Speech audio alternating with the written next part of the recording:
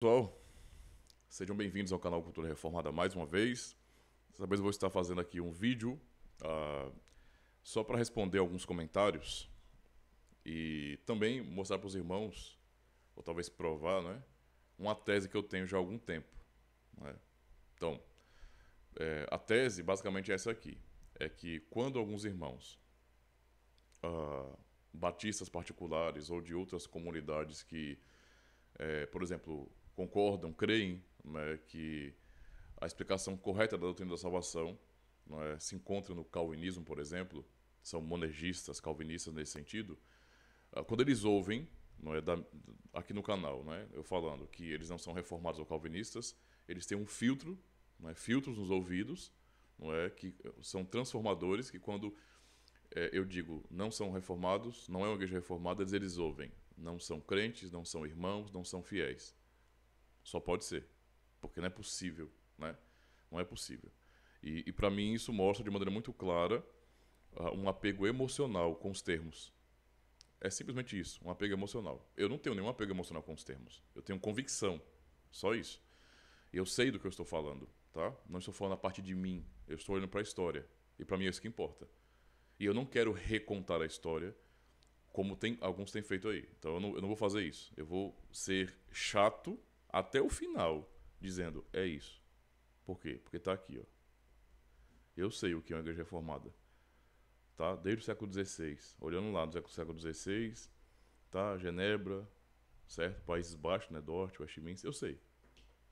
Exatamente o que é uma igreja reformada, tá? Eu não vou explicar mais sobre isso, porque eu acho que é muito claro que há distinções, e é disso que eu estou falando.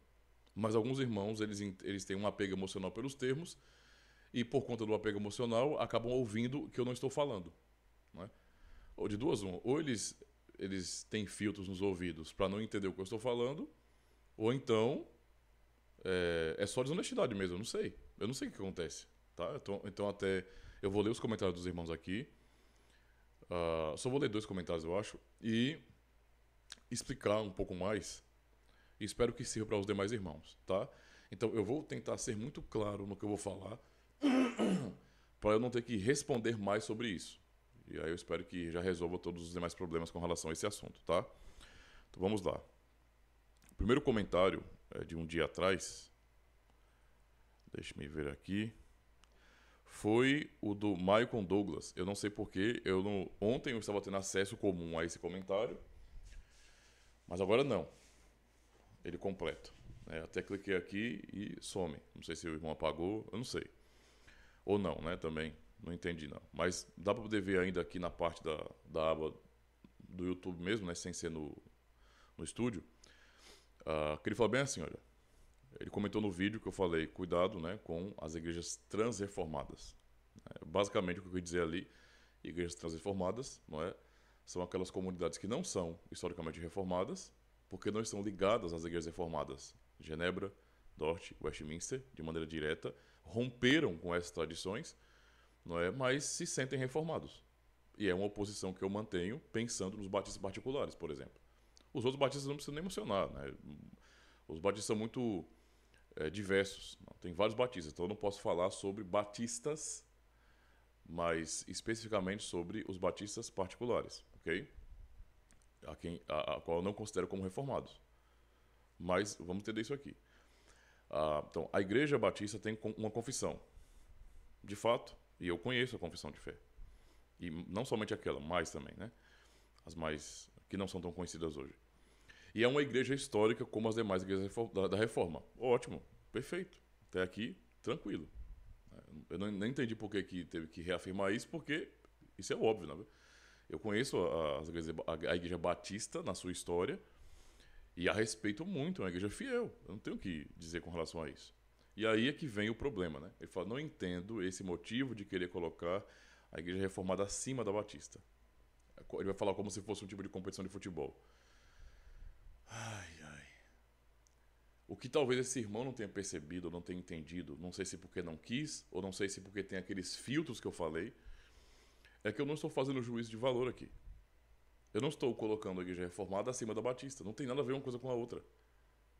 Primeiro que o vídeo que eu fiz aqui, esse vídeo que ele comentou, não é, cuidado com as igrejas transreformadas, foi justamente para trazer um alerta aos irmãos, tá, do que sobre o que acontece no nosso contexto brasileiro. Em nosso amado Brasil, calvinismo e ou reformada, igreja reformada, são termos, na verdade, que já estão na moda no meio protestante. Já estão na moda, a realidade é essa. E como é que eu sei disso? Ora, eu pesquiso, eu procuro manter contato com vários pastores, com várias comunidades que não são reformadas de verdade. Entende? É o tipo de é, calvinismo gourmet, não é? Você, você chega, pega um, um como num, num, restaurante, você pega o menu e aí você olha, hum, calvinismo, hã? Ah, a soteriologia, cinco pontos, né? As resoluções de Dort, ótimo. É, eu vou querer isso aqui, viu, garçom? Pá, passa. Hum, salmodia exclusiva, gostei. Outros vão dizer, não, não gostei não. Mas só cinco pontos para mim tá bom. É, é, salmodia exclusiva, é, tá certo. Inclusiva, pronto, isso aí vai. Passou. É, hum, peraí, batismo, batismo. Pé do batismo, vixe, quero não, pô. Isso é Ctrl-C, Ctrl-V do catolicismo romano. Quero não, passa. E as pessoas tratam a fé reformada desse jeito. Ou não é assim? Hã? De maneira errada e desonesta, divulgaram, por exemplo, John Piper como sendo reformado, Paul Washer como sendo reformado, todos eles aí, que são homens de Deus, tá? Homens de Deus, homens de Deus, homens fiéis, irmãos em Cristo, fazem um trabalho espetacular pregando o evangelho fiel. Não tem nenhuma dificuldade ou problema ou dúvida com isso. São pessoas que eu também consumo, digamos assim, as suas obras. Entende? Eu não estou colocando, então, a igreja reformada acima de batista de qualquer outra igreja. Não é juízo de valor. O que eu estou dizendo é: você pode mapear o que é uma igreja reformada. E pode perceber, com isso do honesto da história, que os batistas, ou ah, no caso, né? Uh, existe um, um, uma separação, ok? Que vai dar origem aos batistas.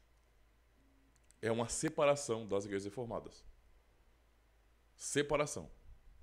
Tá? Para ficar claro que não é a mesma coisa. É só isso que eu estou dizendo.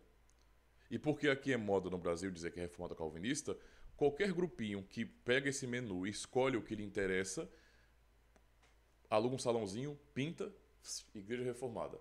Aí a pessoa que foi conhecer a fé reformada raiz, de verdade, a partir da confessionalidade da história, vai criar toda a expectativa. É, então, eu já sei que há, coisas que realmente são o coração da fé reformada, não é?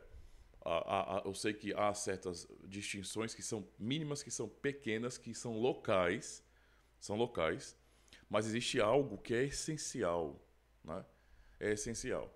É, e isso tem a ver com a doutrina da aliança e as aplicações e implicações da mesma. Certo? Então, para o, o que foi aprender a fé reformada de verdade, ele entende que quando se fala de doutrina da aliança, não é? Nós pais temos uma obrigação para com nossos filhos de conduzi-los ao batismo quando crianças. Isso é, sabe, desde Calvino até aqui. Tá? E pensando em igreja reformada. Não estou nem contando com a igreja católica romana e outras não. Estou falando assim. Esse, isso é, é, é, é, é consenso entre os reformados. Quando se, se nega isso, você está separado dos reformados. Vai dar uma olhadinha nas institutas sobre o que Calvino fala dos anabatistas. Não é? Que pode ser aplicado perfeitamente aos batistas, por exemplo. O que ele diz lá. Ele não fala nenhuma coisa muito bonita, não. Porque ele, realmente ele, ele vê a coisa como sendo algo criminoso, praticamente. Você negar para os seus fi os filhos da aliança o que lhe é de direito. O que lhes é de direito. Não, o que lhes é devido. Então, é um direito que eles têm. Então, a pessoa aprendeu desse jeito, porque é fé reformada de verdade histórica, né? foi aprender com igrejas reformadas, então aprendeu lá, olha, então, igrejas reformadas tem, é, vamos lá, Confissão de Fé Francesa, Catecismo de Calvino, Catecismo de Pierre Viret, não é? tem os documentos também de Beza, tem a confessionalidade, por exemplo, da Holanda, aí você tem de Heidelberg, Confissão de Fé Belga, Cânon de Dort, a Confissão de Fé Escocesa, até um pouco antes, né, a Confissão de Fé Helvética, por exemplo, a segunda Confissão de Fé Helvética, Uh, você tem, então, os documentos da tradição escocesa, depois Westminster, né, fazendo os documentos lá de Westminster, você entende isso. E todos eles vão ensinar a mesma coisa, inclusive sobre os sacramentos, né, o, o, especialmente pensando na aplicação do batismo. Esse é o foco aqui, batismo, tá? Não estou falando de diferenças que são sim secundárias para nós. Então, não vai fazer muita diferença para nós, ah, ah, tem, tem igreja reformada que é de salmodia exclusiva. Amém. Eu não tenho problema com isso. E tem outros que são de salmodia inclusiva. Amém. Do mesmo jeito. Eu não tenho problema com isso.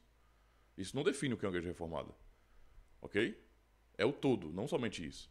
Certo? Isso é um ponto muito importante. E mesmo assim, a questão de salmodia exclusiva ou inclusiva é uma questão pequena. Veja, há debate sobre salmodia exclusiva ou não. Ou inclusiva. Há debate sobre isso. Há debate, por exemplo, sobre a, a Confissão Belga e a Confissão de Fé de Westminster. A Confissão de Fé de Westminster ela é bem mais específica, trata de assuntos que na Confissão Belga nós, da tradição continental, não tratamos. É, por exemplo, a Confissão de Fé de Westminster fala sobre casamento. Para nós não isso, não, isso não existe. A Confissão de Westminster, né? o, catecismo de Westminster, por exemplo, né? o maior e o menor, uh, são muito mais específicos com relação, por exemplo, a aos mandamentos, né? em detalhes, realmente. É pensar, por exemplo, no dia do Senhor. No dia do Senhor você tem detalhes, o que você deve o que você não deve fazer. Tá? E muitas coisas anexadas também. No caso de Heidelberg, você tem a explicação do quarto mandamento, dia do Senhor, mas não com detalhes. Não vai se colocar uma lista uma, de regras, basicamente, do que eu devo ou não devo fazer, mas vai apontar para aquilo que é mais positivo, para o que eu devo fazer. São distinções locais, mas não nos separam. Por quê? Porque o que não está em debate na tradição reformada histórica? Se crianças, filhas da aliança, devem ser batizadas ou não. Tá? Não, isso não está em debate para nós. Não existe tensão quando eu sento com um presbiteriano, presbiteriano eu digo, da IPB ou da Igreja Presbiteriana Reformada, ou outra igreja que seja de tradição reformada mesmo, não haverá uma tensão ou um debate sobre a questão do pé do batismo, porque para nós isso é é, é comum, isso é consenso, isso faz parte integral da fé reformada. Certo? Até mesmo porque a rejeição dessa doutrina, dessa aplicação, para nós não é uma questão pequena, é uma questão muito séria que tem a ver com a soteriologia.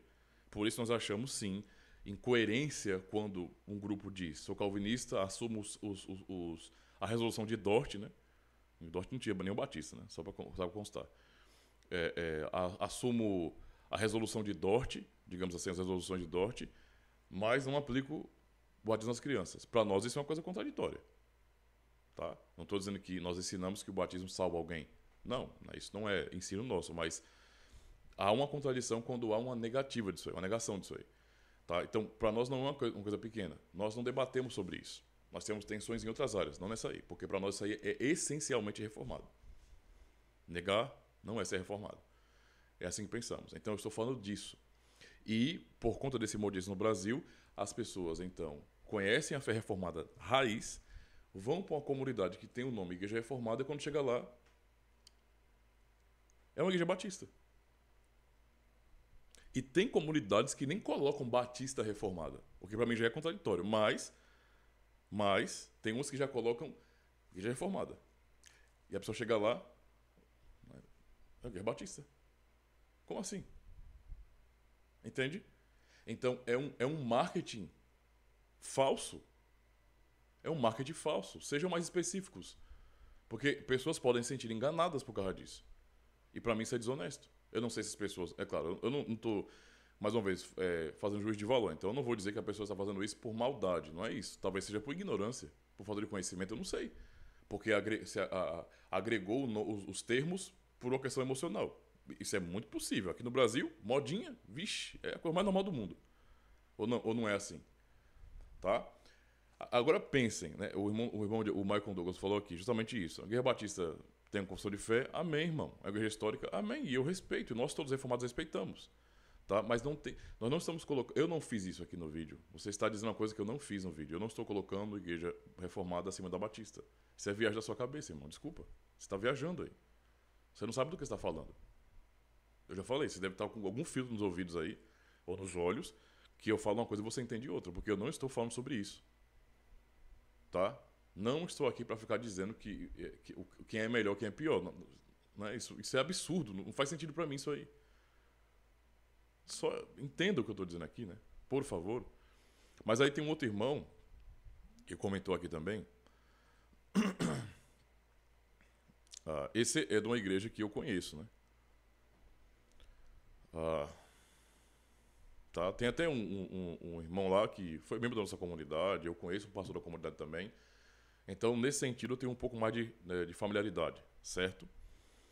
Então vai ser bom comentar o comentário desse irmão, tá? É o Zaqueu de Lima. Muito obrigado pelo seu comentário também. Ele falou assim: Pastor, sou de uma igreja batista. Igreja Batista Reformada em Delmiro Gouveia. Conheço.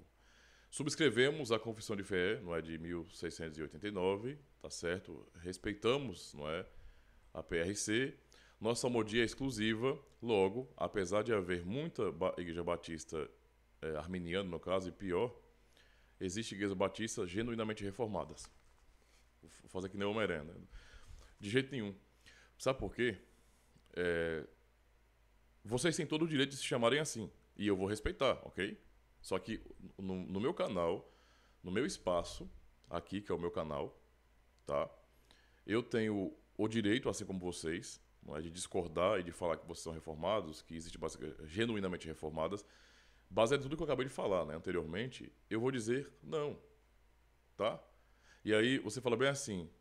É, Pá, pá, pá, pá, mostrar menos, mostrar mais. Cadê, cadê, cadê? Tá, ele comenta isso. Uh, um abraço. Não generalize os batistas por baixo. É o que ele fala. Então, meu irmão, mais uma vez, eu não estou fazendo juízo de valor. Eu não estou falando que as igrejas batistas, né, ou os batistas particulares, que no caso com vocês, que se chamam de reformados, que vocês são inferiores. Não tem nada a ver com isso. Né? Qual a dificuldade de entender uma coisa dessa? Eu não estou dizendo quem é pior, quem é melhor, quem é inferior, quem é crente, menos crente, mais fiel, menos fiel. Eu não estou tocando nesses assuntos, não. Não tem nada a ver com isso. Eu só prefiro, minha preferência, né, ser restritivo no que diz respeito ao significado de igreja reformada. Pronto. Igreja reformada é aquilo que a história me conta e qualquer afastamento daquilo, não é, das doutrinas essenciais, digamos assim, ah, de algo que é tão, tão claro para nós reformados, é uma separação da, das igrejas reformadas. Tá? Então, a distinção, o nome, os distintivos, eles são importantes para mostrar o que nós pensamos. Então, igreja reformada é igreja reformada. Para mim é assim. Igreja batista é igreja batista. Para mim é assim. Não é? E os que estão próximos a nós são os batistas particulares. Né? Então, esse é o nome histórico de vocês. Tá? Batistas particulares. Ou seja, uma igreja fiel, né? um segmento, uma tradição batista fiel, uma batista particular, confessional, não é? Vocês estão muito próximos a nós, isso é fato, isso não tem como ser negado. Mas a distinção que vocês tratam como pequena, por exemplo, que é a questão do pé do batismo, para nós não é pequena. Vocês podem dizer que é pequena, mas para nós não é. Para nós é uma coisa muito séria. É uma mudança séria demais. Tá? Tão séria, tão séria, tão séria, tão séria, que, por exemplo, do nosso contexto de igrejas reformadas confessionais de tradição continental, essa é a compreensão que nós temos, né? O, o, nós não costumamos pregar nas, nas igrejas dos outros, dos, dos, dos demais irmãos, né? porque é, eu, como pastor reformado, se eu vou pregar, então no meu sermão está toda a minha doutrina. E isso pode causar conflito e ofender irmãos. Então eu não vou ficar saindo para pregar em outra igreja. E do mesmo jeito, um pastor batista, por mais que seja fiel confessional, não é, seja no mesmo nível de Spurgeon, ele jamais pregaria no púlpito da minha igreja. Não é, eu digo, tem o que eu quero dizer também, né? Porque eu tenho que ficar desenhando aqui, vai saber. Tem irmão que, tem outros aí que vão assistir o vídeo vão, vão achar que eu estou dizendo que a igreja é minha. É, então, não pregariam no púlpito da, da, de uma igreja reformada de verdade. Certo? Por quê? Porque a mudança de pedo credo só para credo é uma mudança grande, irmão. Tá? Cada doutrina ou dogma da igreja está interligado com os demais. Ele não existe dogma isolado da igreja. Não existe doutrina, uma doutrina isolada da igreja essa doutrina ela está ligada às demais doutrinas. É, por exemplo, não tem como eu falar de soteriologia ah, sem eu é, fazer o link direto com o pacto. Não tem como. Eu acho que vocês que são batistas particulares sabem muito bem disso. Né? Não tem como. Os que não são batistas particulares são esses é, esses batistas freestyle, digamos assim. Né? Eu digo que essa turma que no fim é credo batista somente e é, não está vinculada a uma igreja batista particular. Portanto, não é confessional. Essa turma aí, a turma mais chata que tem, tá? E eles proliferam de um jeito que misericórdia, né? Assim, é crescendo, crescendo, crescendo e vão tornando a coisa ainda mais sem pé e sem cabeça, porque eles não têm nenhum compromisso pactual, nenhum compromisso confessional, como vocês têm, e eles acabam reduzindo o calvinismo a o tal dos cinco pontos. Né? E é geralmente pessoas, são geralmente pessoas que nem, nem estudam bem os cânones de Dort, nem... Eles não conhecem isso aí, eles só, eles só são empolgados na internet. Tá cheio de gente assim se achando apologeta, se achando intelectual, falando um monte de abobrinha, né? E até tacando pedra nas igrejas reformadas. Não entendo uma coisa dessa, mas tudo bem. Certo? Mas veja, isso aconteceria né, de não haver uma troca de púlpitos justamente por quê? Porque nós, as igrejas reformadas no caso eu digo, nós vamos, não vamos colocar um pastor, por mais que ele seja piedoso, para pregar, porque a teologia da aliança dele, mesmo sendo um batismo particular, não é igual à nossa.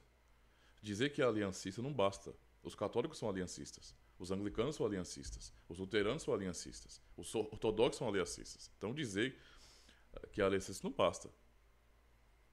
Tá? Não basta. As aplicações e implicações da aliança elas devem ser iguais. Tá? O pressuposto nosso como reformados, usando esse termo ortodoxos, não é? é que as crianças elas são de Deus, elas são da aliança e, portanto, elas são batizadas porque elas pertencem a Deus na aliança. Então nós devemos isso a elas. Tá? É um direito delas por serem filhos da aliança. Elas não se, são batizadas para se tornarem membros da igreja. Para nós é formado, as crianças já são membros da igreja. Os filhos de crentes são membros da igreja também, porque são membros da aliança. Tá? Então, se os irmãos concordam com isso ou não, isso aí fica em, em segundo plano, é o que nós estamos discutindo aqui. Mas e cada um sabe o que quer, o que crê. Aí não, quem sou eu para estar julgando nada nisso aí? Eu só estou dizendo o que, o que é. O que a igreja reformada é isso. Certo? Então, por favor, não, não façam é, essa confusão com as minhas falas aqui, porque eu não estou discriminando os irmãos. Eu não estou no sentido. Estou falando discriminar sim, né? mas não no sentido negativo. Eu não estou tratando os irmãos como se vocês fossem por baixo como se vocês fossem inferiores. Eu não estou colocando a igreja reformada acima da igreja batista. Não existe isso, cara. Não, eu não estou fazendo isso. As igrejas batistas, não é, especialmente a igreja batista particular, é, mas os batistas no geral, têm uma história, uma história longa, não é, que vem do século XVII. Cara, isso é maravilhoso, tá?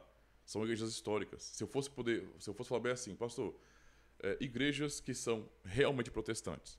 Então eu diria, não é? Começar pela igreja reformada, então, igreja luterana, igreja reformada, igreja anglicana, igreja batista. E igreja, por exemplo, presbiteriana e também congregacional. Essas são, para mim, são as igrejas protestantes que existem. O resto é, é tudo são ramificações, não é? Que, que acabam meio que de alguma maneira afastando nessas ramificações, né, nessas divisões, afastando essas demais comunidades de, deste tesouro protestante que nós temos. Entende? Tipo assim, vocês estão, estão no contexto de serem protestantes de verdade. E isso para nós é muito bom. É para nós porque nós podemos ter unidade nisso. Tá? Uh, dá para conversar. Nós entendemos bem quais são as nossas identidades, os nossos distintivos. E tá bom, cara. Tá bom, isso é suficiente. Entendeu? É suficiente. Agora, os irmãos têm todo o direito de, Ah, mas é porque tem um catecismo aqui que é praticamente uma cópia do de Heidelberg. Ah, porque a nossa confissão de fé foi inspirada na confissão de fé de Savoy e também de Westminster. E isso não é argumento para mim, irmão. irmãos, né? Não vai mudar nada para mim, tá? É um posicionamento meu. É assim que eu vejo. Se isso incomoda demais, se é chato demais, é simples, não assistam os vídeos, ou então não comentem nada, não digam nada. Eu, eu, isso não vai mudar meu pensamento. Eu vou continuar respeitando vocês como sempre respeitei. Certo? E para mim, eu faço uma, uma distinção muito clara em eu entender o que é a igreja reformada, certo? E não ter um apego emocional a isso, certo? E entender o que é uma igreja batista. E, nesse sentido, respeitar a história de vocês, a confessionalidade de vocês, os ver como irmãos e como igrejas fiéis, eu não tenho dúvida disso. Né? Os batistas particulares, mas eu não estou nivelando ninguém por baixo. Então, vamos pensar antes de falar essas coisas, certo? E talvez vocês estejam um pouco chocados ou talvez chateiem um pouquinho, porque as igrejas reformadas de tradição continental, elas são pequenas no Brasil, elas são pouco conhecidas, não é? O que se conhece mais aqui é a igreja presbiteriana do, do Brasil, eu digo a IPB. A IPB, que historicamente é uma igreja reformada. Nós sabemos quais são os seus símbolos de fé, são reformados, não é? Mas está passando por crise, isso é óbvio, né? Por muitas crises. Então meio que fica na dependência do pastor local, do presbitério. Eu conheço presbiterianos que são confessionais até o tutano. Com esses, ah, meu amigo, a conversa vai longe. Eu não estou vendo um diferente, eu estou vendo um igual ali, um irmão que tem as convicções, nós podemos conversar, trocar ideia, isso é maravilhoso. Mas não é há muitos outros pastores presbiterianos que, sinceramente, já se tornaram evangelicais há muito tempo, né? Isso é fato. Né? Mas esse é o ponto aqui, tá? Então, entendo o que eu quero dizer, não levem para o coração. Se a coisa incomodar, né, porque tem um cara agora, né, porque eu acho que talvez vocês nunca ouviram isso, eu não sei, eu não vejo também outro canal que fala o que eu estou falando aqui, aqui na internet, né.